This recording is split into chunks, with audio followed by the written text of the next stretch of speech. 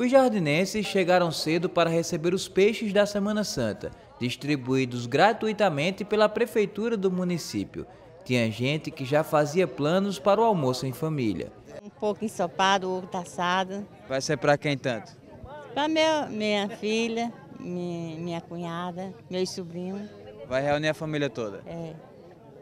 Não vai tudo porque tem dois filhos em Brasília. Eles vão ficar só na saudade então do peixe? É. E amanhã que vai ser meu aniversário, 72 anos, aí vou receber os telefones, né? Então faz o seguinte, manda um recado aí para os filhos que vão ficar lá em Brasília. Ari e Andréa. A mãe, não posso nem falar. Emocionou?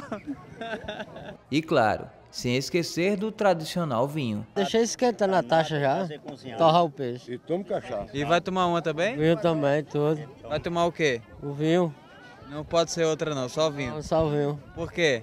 Porque não pode o álcool hoje não. E o vinho não é álcool não? É a mesma coisa, me- dá- fica bêbado do mesmo jeito. Mas o vinho pode, né? Pode.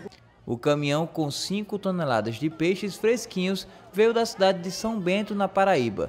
Mais de 5 mil famílias de Jardim de Piranhas foram contempladas.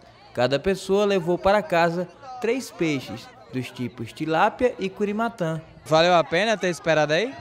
Valeu, né? Que foi pelo menos três peixes, valeu a pena. Qual é o prato hoje em casa? Vai ser peixe.